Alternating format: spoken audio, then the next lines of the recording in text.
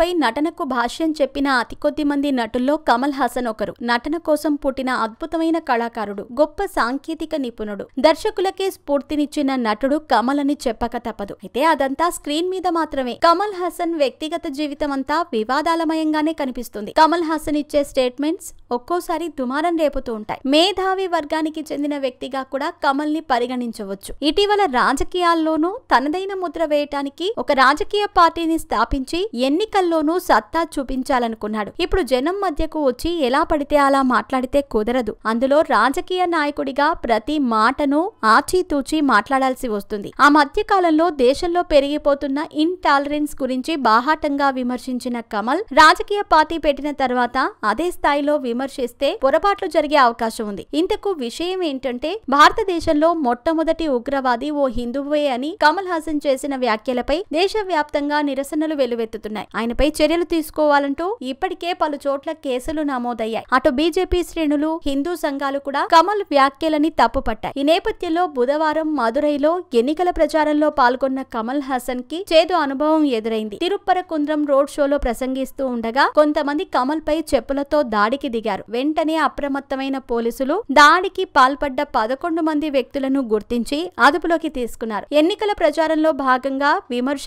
ప్రతి విమర్శ సహజమే గాని మతం జోలికి కులం జోలికి వెళుతున్నప్పుడు మాత్రం చాలా జాగ్రత్త అవసరం. ఏకంగా హిందువుల మనోభావాలు దెబ్బతినే విధంగా కమల్ చెప్పటానికి ఈ ఘటన జరగటానికి మూల కారణమైంది. నటుడిగా నీరాజనాలు అందుకున్న ఈ మహానటుడు ఇలా చెప్పుల దాడికి గురవుతాడని ఎవరూ ఊహించి ఉండరు. భారతదేశంలో అంతే. ప్రజలు ఎప్పుడు ఎలా స్పందిస్తారో ఎవరికీ అర్థం కాదు. ఈ చెప్పుల దాడి విషయం ఎటువైపు దారి తీస్తుందో చూడాలి.